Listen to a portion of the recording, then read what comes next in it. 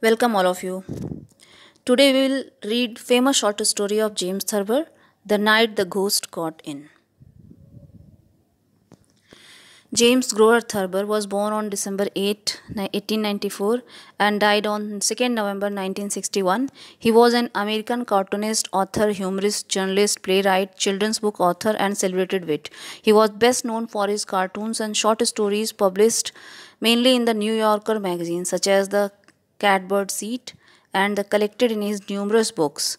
He was one of the most popular humorists of his time as he celebrated the comic frustrations and eccentricities of ordinary people.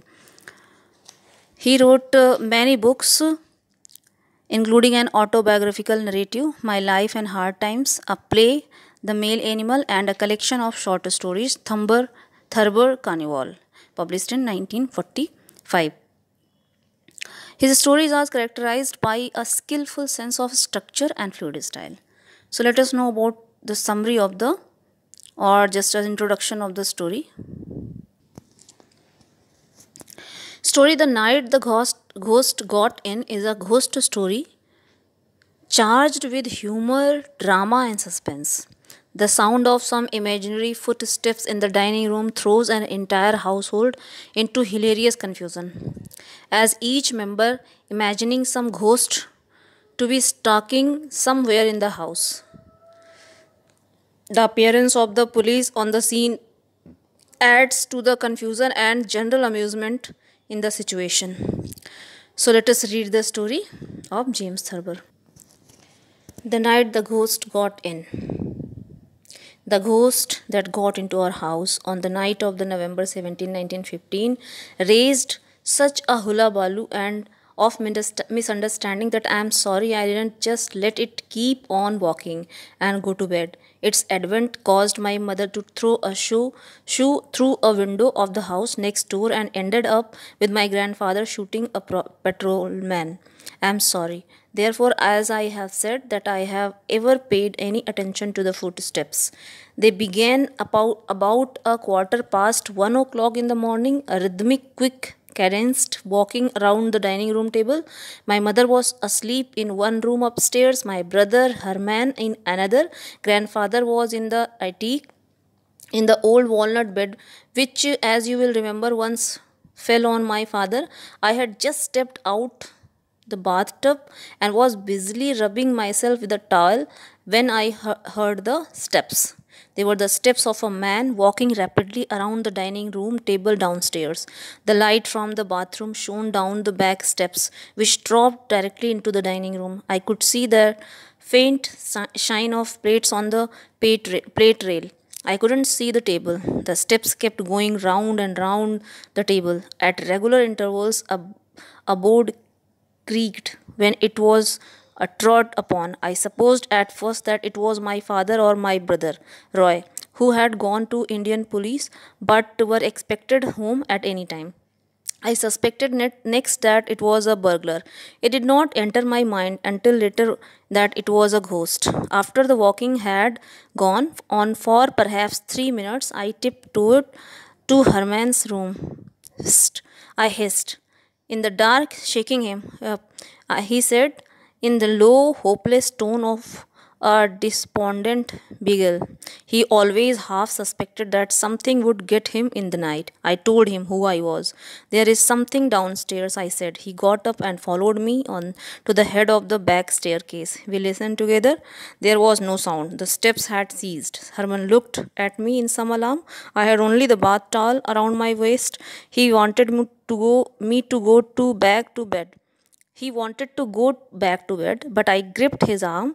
There is something down there, I said. Instantly, the steps began again, circled the dining room table like a man running, and started up the stairs towards us heavily, two at a time.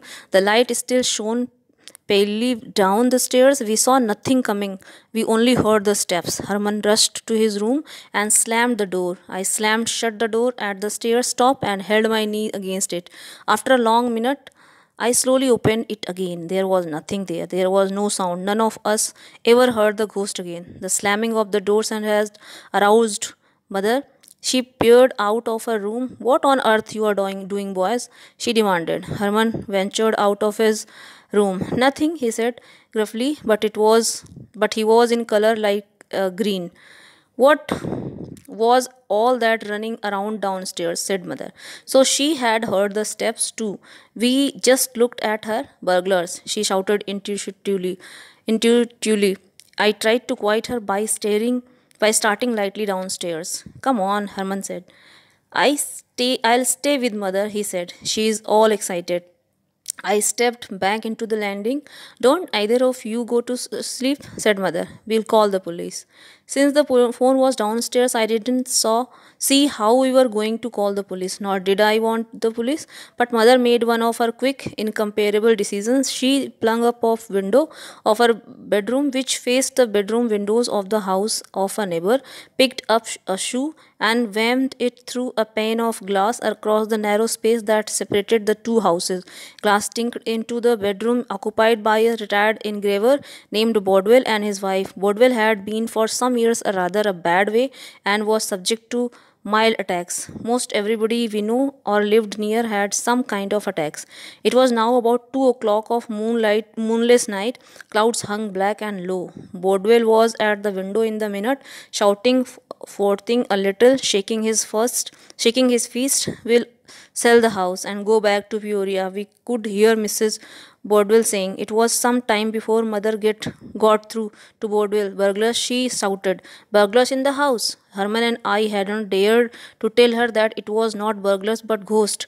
But she was even more afraid of ghosts than of burglars. Bodwell at first thought that she meant there were there were burglars in the house but finally he qu- quitted quieted down and called the police for us over an extension phone by his bed.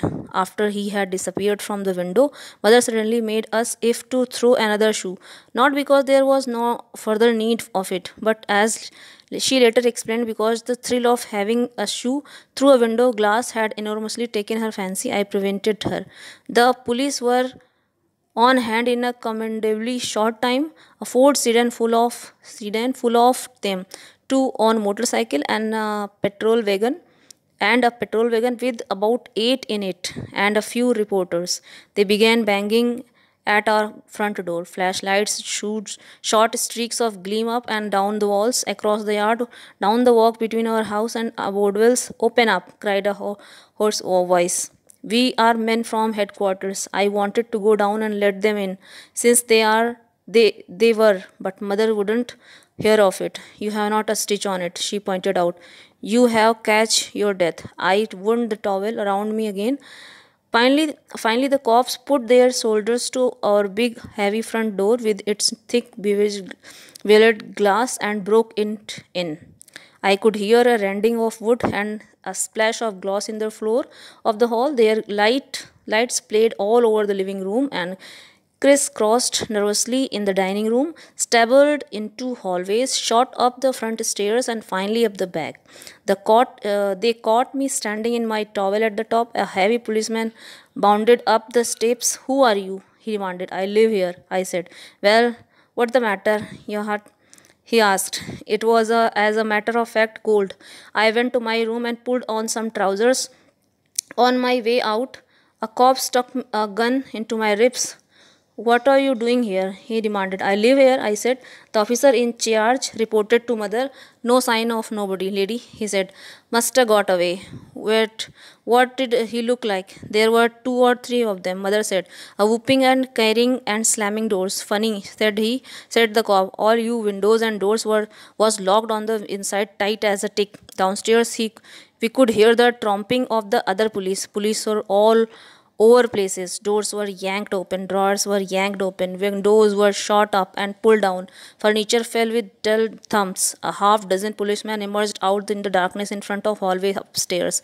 They began to ransack the floor, pulled beds away from the walls, tore cloths of books in the closets, closets pulled suitcases and box of shelves. One of them found an old zither that Roy had won in pool tournament. Looky here, Joe, he said, turning, strumming with it with a big paw. The cop named Joe looked it and turned it over. What is it? he asked me.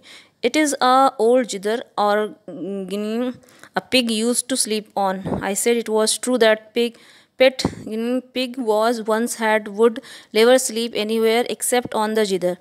But I should never have said so. Joe and other cop looked at me a long time. They put zither back on a shelf. No sign of nothing. They said the cop who had first spoken to mother. This guy, he explained to the other, jerking a thumb at me, was necked. The lady seems historical. They all nodded but said nothing, just looked at me. In a small silence, we all heard a creaking in the attic. Grandfather was turning over in a bed. What is at, snapped Joe. Five or six cops sprang for the attic door before I could intervene or explain. I realized that it would be bad if they burst it in on grandfather unannounced or even announced. He was going through a phase in which he believed that General men, under steady hammering by Stonewall Jackson, were beginning to retreat and even desert. When I got to the attic, things were pretty confused. Grandfather had evidently jumped to the conclusion that police were desert deserters from the Medley army. Trying to hide away in his attic, he bounded out of bed wearing a long flannel nightgown over long woolen underwear, a nightcap, and a leather jacket around his chest. The cops must have realized at once that the indignant, white haired old man belonged in his house, but they had no chance to say, Back, ye cowardly dogs, roared grandfather. Back the lions, you Go, goddamn lily-livered cattle. With that, he faced the officer who found the zither a flat-handed smack alongside his head that sent him sprawling. The others beat a retreat, but not fast enough. Grandfather grabbed zither's gun from his hostlers and let fly. The reports report seemed to crack the rafters. Smoke filled the attic. A cop cursed and shot his hand to his shoulder. Somehow we all finally got downstairs again and locked the door against the old gentleman. Uh, he fired once or twice more than in darkness and then went back to bed. That was grandfather, I explained to Joe. Out of breath, he thinks you are deserters. I'll say he Joe, said Joe. The cops was reluctant to leave without getting their hands on somebody's besides grandfather. The night had been distinctly a defeat for them. Furthermore, they obviously didn't like that layout. Something looked. And I can see their viewpoint, phony. They began to poke into things again. A reporter, a thin faced, wispy man, came to me. I had put on mother's blouses, not being able to find anything else. The reporter looked at me with his mingled suspicion and interest. Just what the hell? Is the real dog down here, Bud? he asked. I decided to be frank with him. We had ghost, I said. He gazed at me long time as if I were a slot machine into which he had, without results, dropped a nickel. Uh, then he walked away. The cops followed him. The one grandfather shot holding his new ba- uh, bandaged arm, crush- crushing the blaspheming. I am gonna get my gun back from the old bird, said the zither cop. Yeah, said Joe. You and who else? I told them I would bring it to the station house the next day. What was the matter with that? One policeman mother asked. After they had gone, grandfather shot him. I said, What for? she demanded. I told her to the he was a deserter of all the things, said mother. He was such a nice looking man. Young man, grandfather was fresh as daisy and full of jokes at breakfast next morning. We thought at first he had forgotten all about what happened, but he had not. Over his third cup of coffee, he glared at Herman at me and me. What was the idea of all them cops, Terry Terry Horton, round the house last night? He demanded. He had us there. And a story ends there. So thanks a lot for watching. If you like this video, please like and subscribe. Thanks a lot for watching once again.